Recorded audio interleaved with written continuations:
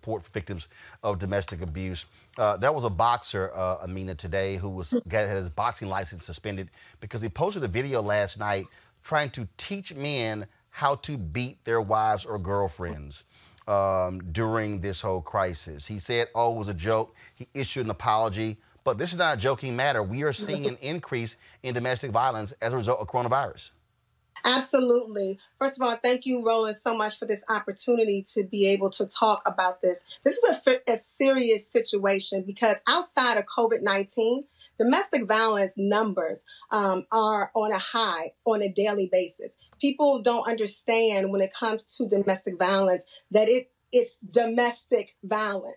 Before the violence comes, the domestic part comes, which is verbal abuse, emotional abuse, financial abuse that's happening now, even spiritual abuse from what we're seeing. So the tension building behind that is what is causing then that physical part. And we're in a very we're in a crisis right now, and we know that. And so even when it comes to financial and not knowing how the money and where their checks are coming and people being laid off at high numbers, the increase of violence alone is high. So even with domestic violence, think about it from this point, Roland. We have a stay at home order. My God. Stay at home. So you have to stay at home with your abuser who's mentally breaking you down, emotionally breaking you down, phys- physically now breaking you down, and you have nowhere to go. And even on a global number, um, that domestic violence comes in so many different forms outside of what we know, even in the United States. So even China's numbers with the coronavirus and COVID 19 that was at a height even to the divorce rate. So this is serious. One in four, it was one in three. So without the coronavirus, one in four women. So let's just do, we already have to be what, 10 in a room? So one in four counts. But the numbers has changed in the last year to one in three. And one in seven men, this boxer who's doing this, one in seven men are even being abused. But because of ego, they don't talk about that. You, so, what does a person do? I mean, you, you're shelter in place.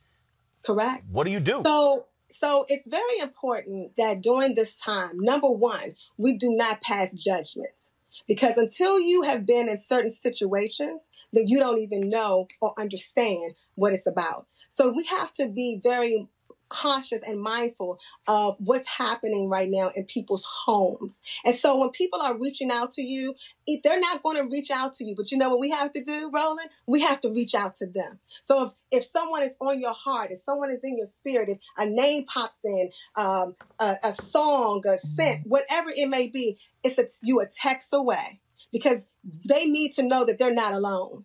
And so it's important. We have resources locally as well as state, um, national domestic violence um, hotline, the 799 800 799 7233. I can give you those information. You have local. I am based here in Washington, D.C. And even in the DMV area, in Prince George's County alone, the number of homicides on a day outside of on a time uh, that we're in an epidemic outside of this, a pandemic, excuse me, outside of this, it is increased by even 500%. 500? so we need to just reach out to people, let them know that they are not alone. Give them local um, foundation numbers, such as mine, and so forth. Pray like never before. Um, and so this time is very, very serious. Even when it comes to the increase in just one week, less than a week, Roland, less than a week, the domestic violence hotlines, local uh, foundations are seeing increase in numbers. And ironically, that we're talking about this today on April the 1st, Roland, this is the month, April, of sexual assault. So when people are locked up, you know, I heard something, wasn't funny, but you know, it is what people were saying. Come December, it's going to be a whole bunch of babies and stuff. Even when it comes to sexual assault, that's abuse. So now when you got the tension and you're going to come here and you're going to, you know, I want to be intimate. Domestic violence is with the intimate partner. Mm-hmm. An intimate partner can be parental. It's a it's a spectrum of domestic violence.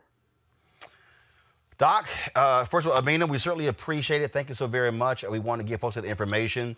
Uh, again, folks, uh, we want you to place that phone call, uh, get help. You should not be in a situation uh, where you are being beaten and you think there's nobody to uh, to be there for you. Amina, Thanks a bunch. Thank you so much. And I pray for all of us and be mindful that we are here together. Thank you, Roland. All right. You take care, folks. Amina McWhirter, founder of Love by the Handles. Got to go to a break. We come back. We go check with D Nice. Have any of y'all been being part of his club quarantine? Any of y'all? Brooke, Scott, Derek? I ain't seen uh, well, we, we, we I was one of that 100,000. Of course. First of all, we, we know Scott ain't got no rhythm, so he wasn't there. Uh, but I, have seen I've seen Brooke at club quarantine. I tried to yeah. holler, I tried to holler at you, but it was too packed. All right, y'all. I'm, I'm gonna go to a break. We come back. We're gonna chat with D Nice, and of course, we're gonna also talk to Desmond Meade about what's happening in prisons in Florida, how they being protected. We got also uh, this white school board member in Montgomery, Alabama, y'all. Dropped it like it's hot. She went off in the meeting, basically saying we ain't helping these black kids because we ain't trying to help black kids. We're gonna talk with it right here. Roland Martin Unfiltered. Back in a moment. You want to check out Roland Martin Unfiltered? YouTube.com forward slash Roland S. Martin. And subscribe to our YouTube channel. There's only one daily digital show out here that keeps it black and keep it real. It's Roland Martin Unfiltered. See that name right there? Roland Martin Unfiltered. Like, share, and subscribe to our YouTube channel. That's youtube.com forward slash Roland S. Martin. And don't forget to turn on your notifications so when we go live, you'll know it.